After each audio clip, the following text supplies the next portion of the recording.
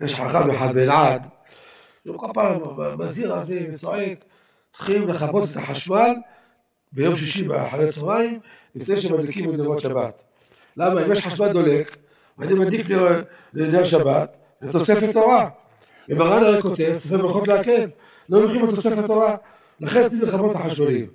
הוא לא אמר לסגור את התריס, את הווילון, להחשיך את החדר, זה הוא לא אמר, מעניין. אבל הוא אומר שלא מדליקים אור דלוק.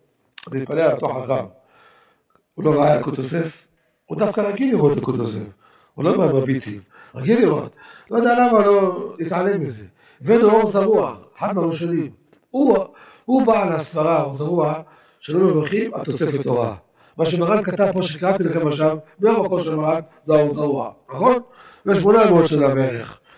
מי שאומר את הסברה הזו כותב, שאם יש לי בחדר נר דלוק, לצורך אדם, לא נר שבת, אנחנו זה מהצהריים, בארבע, משהו כזה. אני יכול להדליק שם נר שבת, כי הנר הקודם מודלק, לא לשם שבת. והנר שאני מדליק עכשיו הוא לשם שבת. זה הזורה בעצמו כותב את זה. אז לפי זה יש לך אור חשמל. יכול להדליק גם אור חשמל, יכול להדליק נרות. בכלל, יש לעיין. היום בזמננו יש לנו חשמל. פעם לא היה חשמל. היו צריכים להדליק נרות שבת, שלא יהיה חשמל, שאין בחושך ידעו. בסדר. לא יתקל באיזה כיסא, אדם הולך בשבת, חושך, אין אור בבית, כאן באיזה כיסא, רק הוא צועק על אשתו. למה הכיסא באמצע הדרך? כל דבר תולה באשתו. יש לו בית בטל. ידעת כי שלום בעליך, זה נר שבת, זה מביא שלום בית. היום יש חשמל, אז למה צריך בכלל להדליק נר שבת? בואו נבטל כל הדקת הנרות, יש שתי נרות או שבעה נרות, כמה זה, בואו נבטל את זה, כי יש לנו היום חשמל. ככה שואל הרב שלמה זלמן נויבך, בשמירת שבת כחתה בהערות למטה, מביא בשבוש, ככה הוא שאל.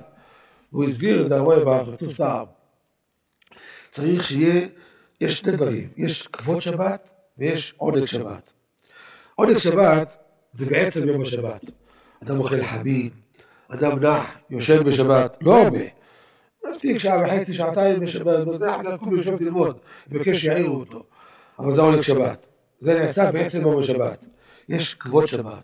אדם לפני שבת מתרחץ, טובל למקווה, אם זה לא ביטול תורה, ומחליף את הבגדים, שם מפה על השולחן. חלק מכבוד שבת זה להדליק שתי נרות לכבוד שבת, או שבעה נרות כל אחד לפי מנהגו. זה חלק מכבוד שבת. אז נכון שיש לי עוד דולק, אבל זה דולק, זה כל השבוע דולק, זה לא ניכר.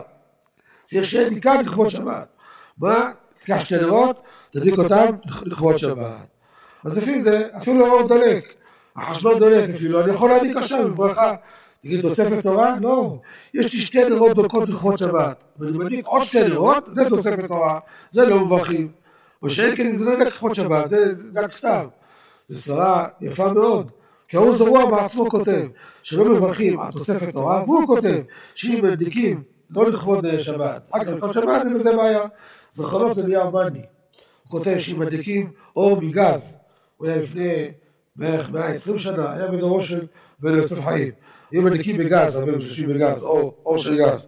מדליקים אור מגז, אחר כך באה האישה רוצה להדליק שם נרות שבת, היא יכולה להדליק נרות, נרות שבת. היש כבר אור? לא, צריך שיהיה ניכר לכבוד שבת. יודעים של כבוד שבת.